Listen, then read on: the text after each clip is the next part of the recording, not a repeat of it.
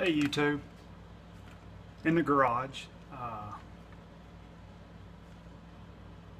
got a little comparison. My headlights on my truck aren't very good. I buy just the stock from like uh, AutoZone. They're like 30, 38 bucks, $33 for your basic lights. It's uh, about, it's a 90, 98 GMC Z71. And uh, anyway, it's never bright enough, so I decided to buy a little more expensive bulb, these Silver Star. And uh, I figured, well, we'll just do a comparison side by side, stock light against some uh, Silver Stars, ultra bright. Let's see how it turns out. Hopefully it'll improve it. Let's check it out. Alright, I just pulled the driver's side out. Here it is, it's your Sylvania.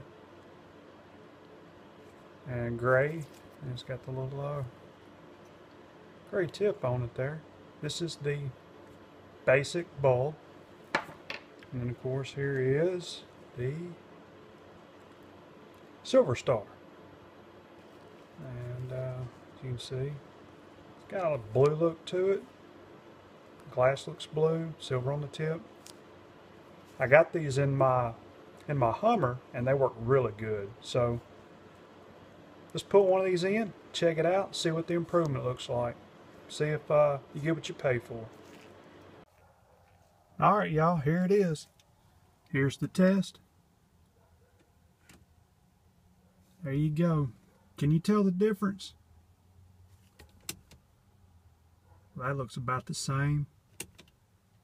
But that sure does look better. I think that was definitely a good improvement. Oh yeah. Well, there they are, both of them in. It's a lot brighter. When replacing your headlights, always replace both bulbs at one time. And uh, as you can see, go ahead and upgrade your bulb. Get you a better bulb. Don't go with the basic. You won't regret it, and uh, you'll see a lot better. Anyway,